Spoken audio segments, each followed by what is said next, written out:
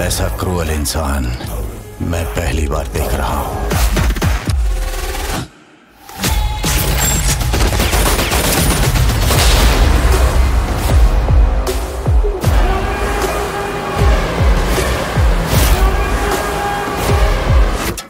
और उससे भी ज़्यादा डेंजरस ये है कि he is an Indian